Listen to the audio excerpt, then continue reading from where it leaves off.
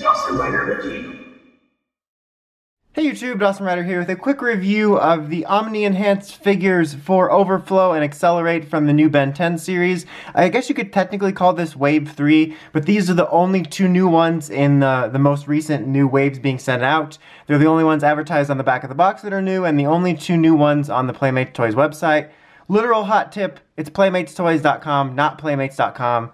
I made that mistake. Anyway, let's go ahead and take a look at them. So if you already know from the show or the other toys, these are basically the same core mold of the original toys, you know, same core design, basically, but with just this essentially Omni-enhanced armor around them. Uh, I'm gonna keep on calling Water Hazard. Uh, Overflow here is honestly a little bit more basic. Like, you know, basically he just recolored on this main part here. You know, the chest piece here, the little rock-like pieces here. I think I've said in previous reviews, it kind of reminds me of the look of Diamondhead in the Alien Force Ultimate Alien era. The biggest change, of course, being these two new cannons, which look like Donkey Kong barrels, honestly. And when you get them, you have this clear uh, water plastic piece that attaches right here, and then these two attach via ball joints, so you can sort of get some, some articulation going, which is kind of nice. But the rest of the articulation on this guy is pretty much the same as before. You get a pretty solid range here, nice elbow joint, elbow joint here, and then you get a, a little joint here. Um, so pretty solid stuff. Um, you can move his waist a little bit. You know, he's kind of a weird alien of articulation, but being able to do stuff like this does give him a little more personality.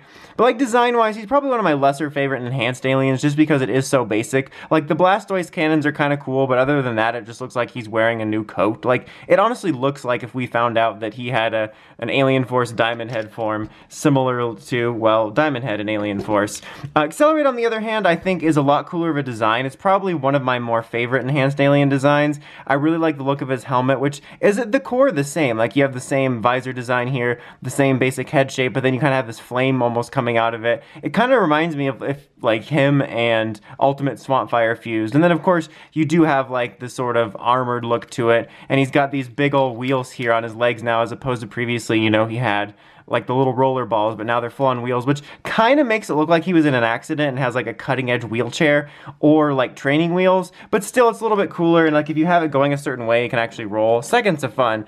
I feel like this is neater than when just like Mecha Toys roll just because it's actually a figure, but I think it's kind of cool looking. Like he has these awesome wheels to skate on. You got the flame look. He, he just kind of looks sleeker and more cool and a little bit more different uh, to me. Uh, but it's other than that, it's like the same base mold as XLR8, which isn't one of my most favorite molds. Like I would say, I'm not as big of a fan of a figure as this figure as I am the form. Not that it's bad or anything, I just think it's one of the weaker figures. Like, his arms are kind of permanently fixed in this running pose, which is kind of annoying.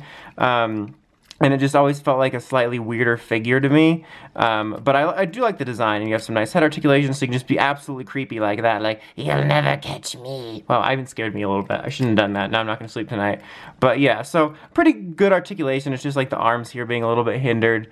Uh, you can twist him around, you just can't bend him, which just seems kind of weird because he's like a slenderer guy. Like, usually the more slender, more humanoid the aliens are, the more like regular action figure articulation they get.